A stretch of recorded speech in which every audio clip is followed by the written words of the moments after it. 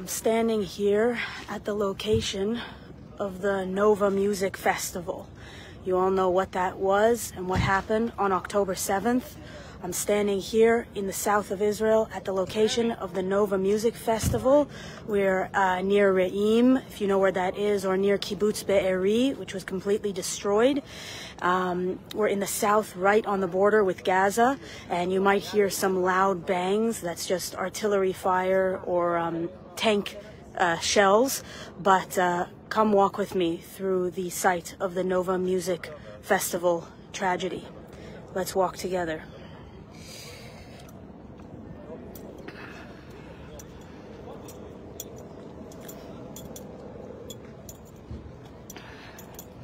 You can see Yortzeit candles here, where they're lighting candles.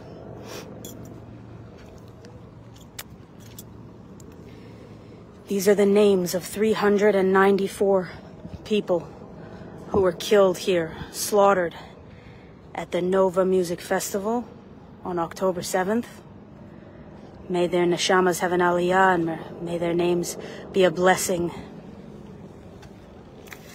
You can see there are a lot of soldiers visiting here. Here's a hostage poster.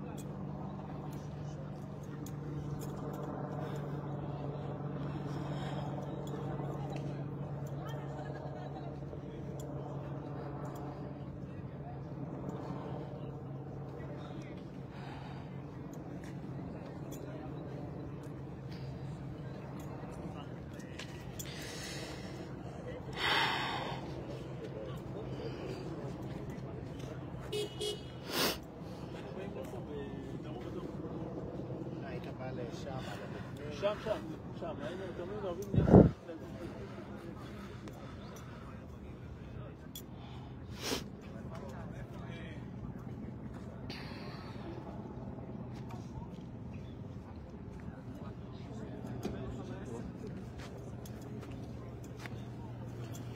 This is the entire field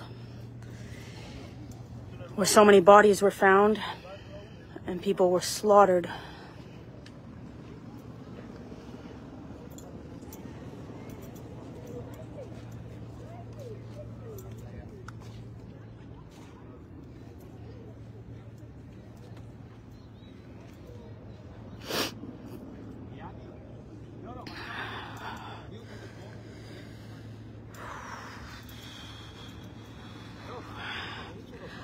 I know not everyone will have the chance to come here, to be in Israel, or even to be in the south um, near the Gaza border, but I want you to walk through with me and you can experience it as well.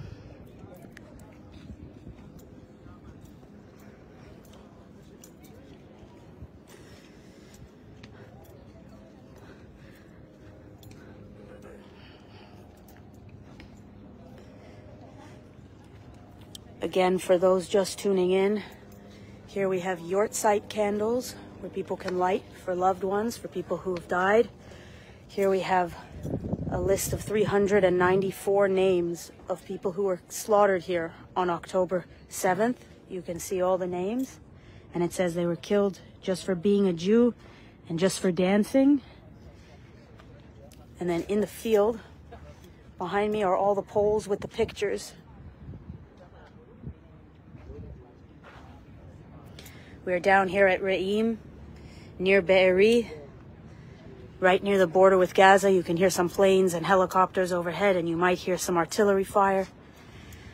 It's really intense. I, uh, it's very overwhelming.